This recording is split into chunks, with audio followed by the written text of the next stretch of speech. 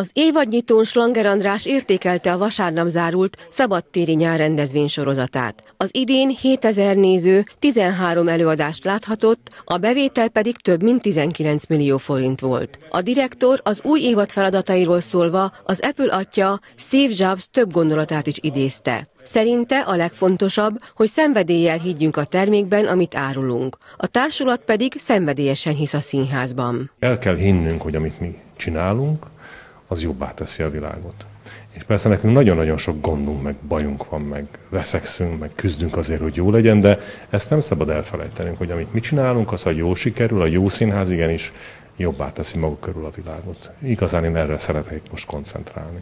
Az évadnyitó rendezvény résztvevőit köszöntötte Nyíregyháza polgármestere is, aki elmondta, a város önkormányzata fenntartóként továbbra is támogatja a teátrum működését. A társulat négy új taggal bővül az idén. Dézsi Darinka már számos szerepben bemutatkozott az ország több színházában. Budapestről jöttem, előtte Székesfehérváron voltam, mm, hát majdnem három évadot, aztán visszamentem Pestre, ott a József Attila színházban is játszottam, meg gyerekszínháznál, és most jöttem ide.